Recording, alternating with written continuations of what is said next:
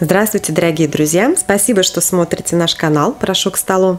Сегодня хочу вам предложить очень вкусные оладушки. Оладушки будут необычные, а оладушки будут с сюрпризиком. Для этого нам понадобится мука, кефир, яйца, соль, сахар, сода, ветчина, зеленый лук, зелень и масло для жарки.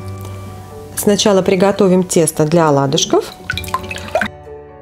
К яйцам добавляем соду, немножко сахара. Сахара добавляем немножко, потому что у нас будет ветчина для начинки. И добавляем немножко соли.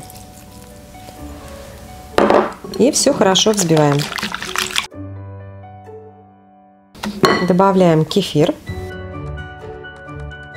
И понемногу добавляем муку. Муку обязательно просеиваем, чтобы оладушки получались пышными.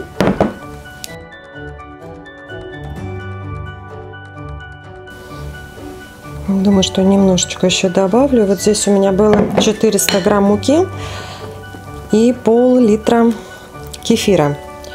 Муки я добавила, наверное, получается все-таки грамм 370.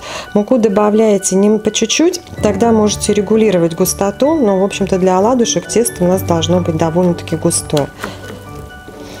Ну вот, тесто получилось хорошее. Тесто готово, а теперь сделаем начинку. Тесто готово, теперь мы к тесту добавим ветчину мелко порезанную, лук и зелень.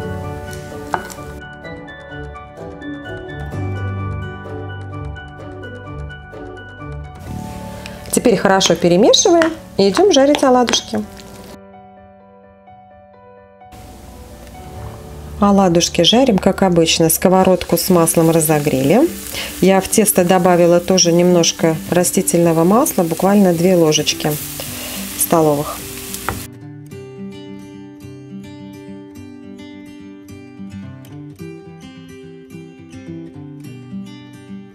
Дорогие друзья, наши оладушки с сюрпризом готовы. Получились очень вкусные и аппетитные.